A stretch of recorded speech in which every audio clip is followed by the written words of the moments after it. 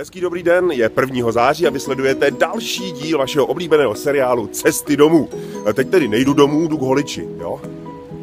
Ale až budu od holiče, tak vám ukážu, jak to vypadá. A jak jsem slíbil, taky činím. Právě odcházím od holiče a jsem na premiérové cestě domů. Když premiérové, no tak premiérové od září.